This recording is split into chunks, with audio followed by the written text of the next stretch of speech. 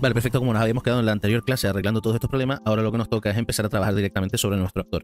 Como bien había dicho, nosotros teníamos configurado el rider para trabajar. Entonces, si nosotros hacemos doble clic sobre nuestro actor, lo que se está haciendo ahora es abrirse el rider para nosotros empezar a codificar sobre él. En la primera pantalla, como el rider está cargando nuestro proyecto.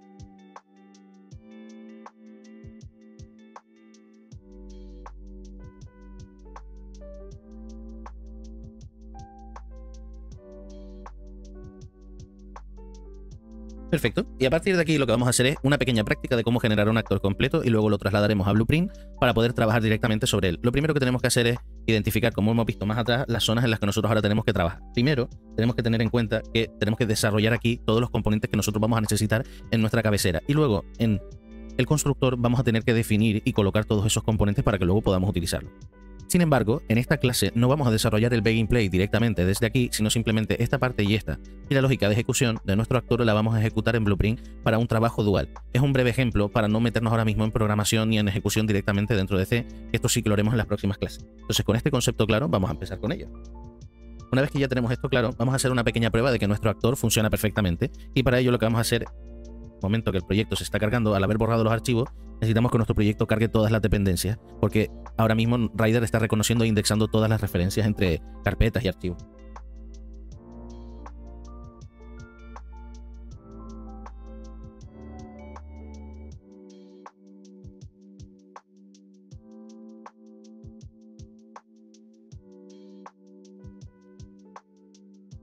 Perfecto, ya una vez que Rider ha indexado y tenemos todo preparado, lo que vamos a hacer ahora mismo es simplemente comprobar que nuestro actor funciona y lo que vamos a hacer es que nos indique un mensaje por pantalla, algo tan simple. Para eso vamos a utilizar un método que tiene que es Engine y vamos a utilizar el autocompletado, vamos a cambiar el mensaje. Ya os explicaré más adelante sobre este método y todo, no os preocupéis ahora. Ahora esta clase no va orientada a que entendáis los métodos que estamos utilizando. Y ponemos el maravilloso hola mundo que siempre se coloca cuando empezamos a programar. Guardamos y una manera de compilar es apretar control mayúscula y B y nuestro proyecto va a ser el live coding para ir a ejecutar todo nuestro código. Una vez que ya todo funciona perfectamente, nos vamos a nuestro editor de Blueprint y lo que vamos a hacer es que de nuestro actor, desde nuestro actor de C++, vamos a crear un Blueprint y lo vamos a colocar dentro del Content Browser y lo vamos a colocar dentro de curso. Una vez que ya lo tengamos, vamos a poder ver directamente, lo tenemos aquí, vamos a cerrar y vamos a abrir el nivel donde nosotros nos encontramos y ahora voy a enseñar una manera de dejar de manera default el nivel sobre el que nosotros solemos trabajar, que en este caso es el módulo 1.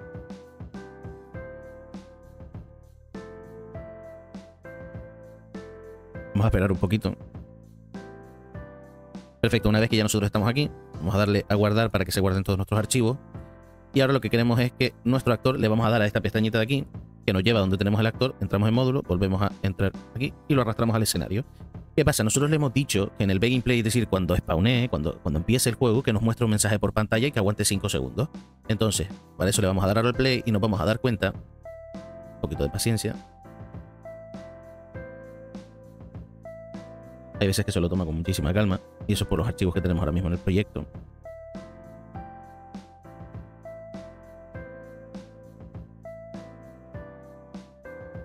Pequeño mensajito de hola mundo. Y para saber si también en Blueprint puede trabajar o no, nos vamos a venir al Event Graph. Vamos a borrar esto todo y a poner aquí. Vamos a poner también un print string. Perfecto. Y aquí le vamos a poner hola desde Blueprint. Compilamos y guardamos y ahora vemos cómo se ejecuta el hola mundo y el hola blueprint. Una vez que ya tengamos todo esto, ya sabemos que nuestro actor va a funcionar y lo podemos ir actualizando. Entonces nos vamos a volver al IDE y vamos a empezar a trabajar sobre él. Lo que nosotros vamos a hacer inicialmente es crear cada uno de los componentes que nosotros vamos a necesitar. Entonces para eso colocamos un U e static. No, vamos a crear un, SN component. Vamos a volver puntero y explicaremos más adelante qué significa. lo que vamos a hacer es exponerlo, ponerle un UProperty aquí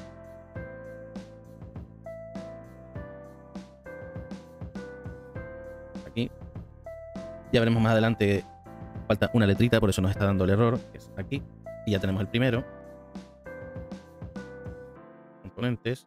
Ahora vamos a crear otro. Es más, para ser un poquito más eficiente, vamos a pegarlo y vamos a crear aquí un U static mesh component.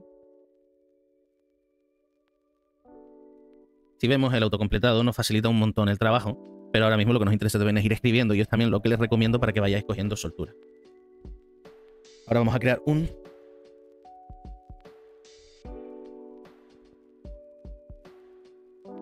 Vale, una vez que ya lo tenemos todo hecho, antes de nosotros empezar a colocarlo dentro de nuestro escenario, vamos a compilar. Escenario, perdón, no dentro de nuestro actor. Y ahora vemos que tenemos un pequeño fallo. Todo esto es muy importante que lo tengamos en cuenta cuando estamos trabajando para que nosotros sepamos cómo identificar este tipo de fallos. Si nosotros abrimos el Show Console, lo que nos va a decir es lo siguiente. Segundo, abrir. La mayoría de las veces, el por qué pasan este tipo de situaciones es porque lo que nosotros hemos hecho, eh, en este caso, es no inicializar las variables que nosotros estamos trabajando en este momento. Si nosotros una vez que ya tenemos nuestros componentes, nos vamos directamente aquí y colocamos que root es igual a create default subobject. Aquí tenemos que colocar el tipo de componente que es y le colocamos root. Y aquí le colocamos este es el root component. Aquí hay un componente de sintaxis.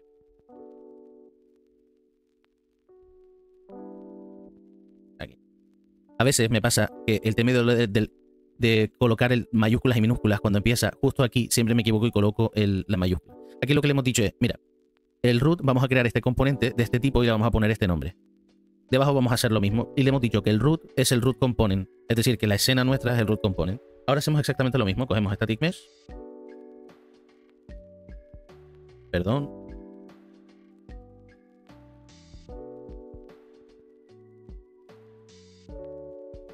Y colocamos el static mesh. Y aquí le vamos a decir lo siguiente. Static mesh, lo que queremos es que sea un hijo, por decirlo de alguna manera, no es hijo per se, sino que en jerarquía static mesh va a estar dentro o por debajo de root component. Es decir, que el root, a donde quiera que se vaya a mover, eh, static mesh se va a mover con él.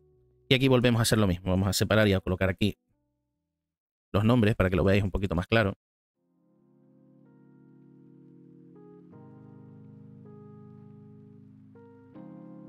Perfecto. Y aquí arriba ahora vamos a colocar lo que nos falta, que es el box collision. Bueno, pues creamos aquí el box collision.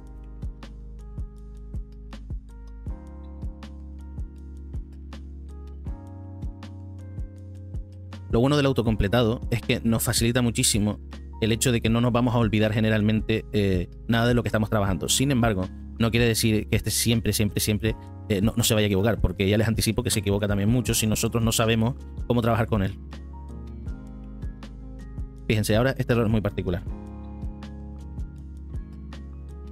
Le vamos a decir que setup, eso es, que sea hijo del otro. Fíjense, aquí nos está dando un problema porque lo que nos está pidiendo es que nosotros, en este caso, hagamos una referencia a este tipo de componente. Para eso tenemos que venirnos al include, colocamos aquí eh, components y lo que vamos a hacer es un include a component. Y aquí le vamos a poner box component. Una vez que ya tengamos esto, ya tiene la referencia que necesita para poder crearnos el, nuestro box collision. Entonces le damos ahora a compilar. Y seguimos teniendo fallo. Y vamos a identificar ahora dónde lo...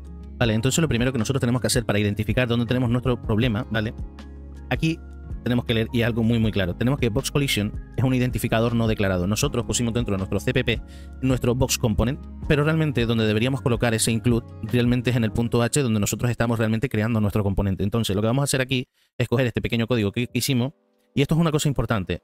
Nosotros tenemos aquí un actor.textGenerate.h. Esto lo que nos está indicando es que tiene que generar el punto H, nuestra cabecera, de este actor en específico. ¿Qué os quiero decir con esto? Para que no tengáis ningún problema, lo que tenéis que hacer es separar esto del generate. El generate siempre tiene que ser el último. Y colocamos nuestra línea de código aquí. Una vez que ya hagamos eso, guardamos y si se fijan ya todos nuestros errores han finalizado y aquí ya te está creando directamente el componente. Una de las cosas que yo siempre recomiendo es que si se fijan, esto con la práctica no te lo dice a menos que tú leas el live coding. Hay que aprender a identificar y sobre todo a leer dónde están todos estos problemas que ya directamente nos está devolviendo. Una vez que tengamos esto claro, lo que tenemos que hacer ahora es volver a nuestro editor, darle a control mayúscula B y este va a volver otra vez a compilar.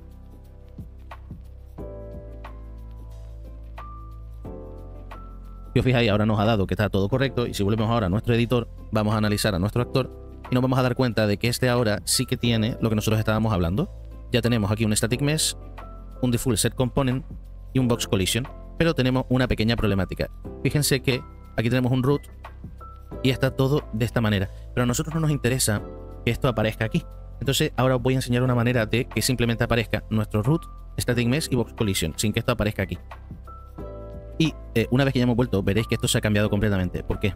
Porque realmente no hay que hacer absolutamente nada. Muchas veces, cuando nosotros estamos trabajando con C++ y Blueprint, lo único que tenéis que hacer es cerrar y volver a abrir el actor para que este pueda llegar a refrescar. Inclusive, que podamos tener lo que sería el compile y el refresh all node. Y esto lo que va a hacer es refrescar toda la información compilada del propio actor. Y ahora, si fijáis, tenemos el root como el root y el resto ya depende de dónde se mueva él. Y esto es súper, súper interesante porque ahora ya vamos a poder trabajar directamente con esto de una manera muy, muy útil. Si se fija también, nosotros aquí ya podemos asignarle un static mesh porque nosotros le hemos puesto en nuestro código en la cabecera que podamos trabajar directamente sobre, eso, sobre esos componentes, entonces podemos llegar a modificarlos. Ahora que nosotros estamos aquí, vamos a hacer la pequeña práctica. Vamos a venirnos a nuestra pelota americana, compilamos y guardamos. Ya tenemos un static mesh preparado. Y ahora lo que queremos es nuestro actor test que tenemos aquí. Y ahora lo que vamos a hacer es arrastrarlo a nuestra ventanita.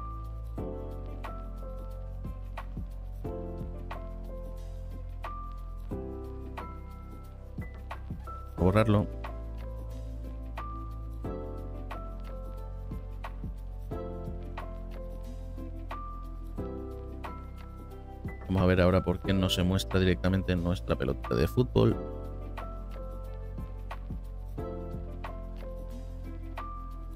Debería mostrarse sin ningún problema.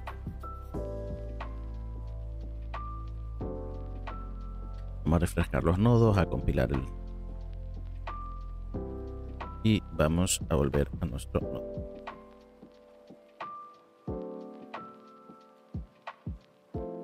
Lo tenemos aquí. Ah, mira, esto es muy, muy interesante. Fíjense en este problema que nosotros estamos teniendo aquí. Ahora mismo nuestro root se encuentra aquí y sin embargo nuestro static mesh y nuestra pelota se encuentra aquí. Esto quiere decir que ahora mismo el punto de origen de nuestro actor se encuentra en un punto diferente de donde se encuentra nuestro static mesh y nuestro cubo. Si nosotros seleccionamos aquí y colocamos la localización en 000, que es como debería, que por lo que sea se ha cambiado, ahora nosotros podríamos moverlo. Pero aquí tenemos el otro problema. Si nosotros intentamos mover ahora mismo esto, no se mueve nuestra pelota, sino que simplemente pues, se va moviendo lo que sería nuestro root descent. Ahora veremos cómo podemos modificar esto y poder arreglarlo. Entonces, ¿cómo lo arreglamos? Pues algo tan simple y tan tan sencillo como reiniciar el editor. Una vez que nosotros reiniciemos el editor, voy a pararlo para que volvamos a estar aquí otra vez. Ahora que ya ha reiniciado el actor, si nosotros entramos dentro, vamos a ver que tenemos la misma jerarquía de antes, es decir, nuestro static mesh box collision entra dentro del root, nosotros tenemos asociada la pelota, y cuando nosotros simplemente arrastramos, ya esto funciona. Pregúntate por qué suele pasar este tipo de situaciones. Eh, a veces el editor no compila bien, el live coding no funciona del todo, a veces tenemos que salir y compilarlo todo desde cero. Hay infinidad de situaciones en las que este tipo de cosas pueden pasar. Mi recomendación es que cuando algo no se comporte como tú esperas, aunque tú tengas el código bien, volvemos a revisar el código, como tenemos aquí, que hemos declarado nuestros componentes y luego hemos simplemente creado la composición de, de nuestros componentes, simplemente reinicia las cosas, ciérralo, vuelve a abrirlo, descarta siempre las opciones más simples, que aunque parezca una tontería, siempre van a acabar resolviendo la mayoría de los problemas. O sea, una vez que ya tengamos esto claro, a nosotros lo que nos interesa es tener el... Vamos a, comprobar nuestro trackmesh para ver el, el material que tiene y vamos a crear una instancia del mismo. Lo que nosotros vamos a hacer ahora, aunque no entendáis de materiales porque no habéis visto a lo mejor fundamentos de materiales, es crear un parámetro con el que nosotros podamos pintar eh, nuestro objeto. Simplemente lo que vamos a hacer es multiplicarlo, crear un parámetro y ya cuando entréis directamente dentro de la clase de materiales mm, podréis ver todo esto. Entonces ahora mismo no me voy a detener demasiado en explicarlo para que lo entendáis. Y ahora, una vez que ya tengamos esto, si se fijan ahora la pelota no tiene este color, si lo colocamos en 1, ¿qué significa esto? Cuanto más estás en 0, Vamos a colocarlo aquí para que lo veáis. Clicamos y guardamos. Si se fijan, 1 significa blanco y 0 significa negro. ¿Qué es lo que nosotros estamos haciendo aquí? Al final, lo que nosotros estamos haciendo, vamos a poner aquí que esto se pueda ver, es que multiplicamos el valor de los colores que hay aquí con el valor que nosotros pongamos. Entonces, si lo multiplicamos por 1, todo esto se va a multiplicar por blanco y nos va a devolver exactamente lo que está dentro de la textura. Pero conforme nosotros vayamos bajando este valor que tenemos aquí, vais a ir viendo cómo se va a ir oscureciendo. Aquí está. Entonces, esto nos permite pues, ir variando la textura. En este caso simplemente estoy haciendo esto porque lo que me interesa es controlar este parámetro que tenemos aquí. De momento lo vamos a colocar en 1 para que aparezca el color como nosotros queremos. Y una vez que ya tenemos esto hecho, aplicamos, nos tenemos que volver otra vez donde estaba nuestro material y hacer un create material instance, que ya lo hemos creado aquí. A nosotros haber hecho este parámetro, cuando nosotros entramos dentro de nuestra instancia, vamos a ver que aquí tenemos un parámetro que se llama color, que vamos a poder ir modificando directamente desde aquí. Y si apretamos otra vez la flechita, nos deja el valor por defecto que hemos puesto, que es el valor de 1. Una vez que ya tengamos esto hecho, lo que nos interesa ahora mismo es cómo podemos hacer esto directamente en lógica de programación. Entonces vamos a ver cómo lo haremos en Blueprint y más adelante haremos un ejercicio para ver cómo haríamos esto dentro de C++. Bien, pues para ello lo que tenemos que hacer simplemente ahora mismo es coger una referencia de nuestro static mesh y como nosotros estamos viendo, nuestro static mesh, cuando entramos, tiene un material asociado. Y si se fijan, pone element 0. Esto significa el índice, porque un objeto puede tener muchos materiales. Entonces, en este caso, lo primero que tenemos que hacer es coger lo que sería su material. Para eso, siempre utilizamos los métodos que al final tienen sentido común, que es get material. Y al final esto lo que nos va a permitir es coger el material de este static mesh y aquí nos lo está devolviendo. Esto que no te devuelve, dice return value, después material interface object reference, nos está devolviendo una referencia al material que tiene. Y aquí nos dice que le digamos el índice. Si nosotros le colocamos uno, pero nosotros identificamos que nuestro objeto, nuestro static mesh solo tiene un material y le colocamos uno, no nos va a devolver nada. Es decir, esto no lo va a devolver nulo. Es más, si nosotros aquí ponemos isValid, esto es una función que nos va a devolver verdadero o falso. Entonces, si nosotros aquí colocamos print string, vamos a colocar aquí y le vamos a colocar esto. Y ahora cuando nosotros entremos, compilemos y guardemos, le vamos a decir que se abra una nueva ventana. Aquí lo tenemos. Perdón, vamos a cerrar y volver a abrir. Nos devuelve true. ¿Qué quiere decir eso? Nos devuelve que es verdadero. Pero si nosotros le colocamos 1, es decir, lo que le estamos diciendo es devuélveme el material en el índice 0, es válido y nos devolvió verdadero. Si le colocamos ahora índice 1 y volvemos a comenzar, nos va a devolver falso. Esto es una forma de nosotros validar que realmente contiene o no el material para que no nos dé error el programa. Entonces, una práctica muy buena, siempre recomiendo que utilicemos el isValid para nosotros identificar que realmente tiene material o no. En el caso de que sí, vamos a crear un create dynamic material instance. Esto nos va a crear una instancia del material que nosotros podamos llegar a modificar. Pero ¿qué pasa? Fíjense que aquí nos pone un target. Nosotros tenemos que indicarle a qué objeto nosotros queremos hacer referencia para que nos cree esto y tenemos que pasarle un source material, es decir, qué material es sobre el que tú quieres actuar y sobre el que tú quieres realizar esa modificación. Entonces, una vez que nosotros tengamos esto claro, ahora lo que nos interesa saber es dónde podemos aplicar ese cambio, ese cambio de color. Si nosotros ahora mismo, dentro de nuestro sistema, vamos a quitarle esto, le damos a play, vemos que la pelota tiene este colorcito, pues normal y corriente, el color de la pelota. Perfecto. En el momento en que nosotros estamos codificando esto y queremos hacer ese cambio en el material, tenemos que recordar que nosotros hemos creado un material instance, pero nuestro objeto, perdón, nuestro objeto tiene asociado el material normal. Entonces, primero ponemos nuestro material instance y se lo colocamos aquí. Una vez que ya hemos cambiado eso, nos metemos dentro de nuestro material y vemos que tenemos un parámetro de tipo escalar. Entonces, ya con este dato, nos tendríamos que volver aquí y decir set, o sea, coloca escalar parameter value. Y lo que nos está diciendo es, mira, pero dime el nombre del parámetro que quieres modificar y dime el número que quieres modificar. Entonces nosotros le habíamos puesto el nombre de color, pues simplemente le tenemos que colocar aquí color y para verlo muy muy exagerado le vamos a colocar aquí 200. Entonces quiere decir que va a multiplicar por 200 la textura de color que nosotros le habíamos previamente dicho. Perfecto, pues entonces simplemente nos vamos a venir aquí, le vamos a dar al play y vamos a ver nuestra pelota y vamos a ver qué le pasa. Entonces, aparentemente parece que no le ha pasado nada a la pelota, ¿no? Vamos a preguntarnos en este punto el por qué no está pasando esto por lo que hablamos antes, porque nosotros aquí colocamos el índice 0, el índice 1, que no tiene, tiene solo el índice 0. Entonces todo el rato nos estaba dando que no era correcto. Es decir, si le dejamos en 1 y aquí colocamos un print string, de aquí la importancia de nosotros validar lo que estamos haciendo en todo momento. Una vez que lleguemos aquí, le vamos a decir, no hay material que modificar. Y lo vamos a colocar en rojo, le vamos a colocar un 20. Compilamos y guardamos.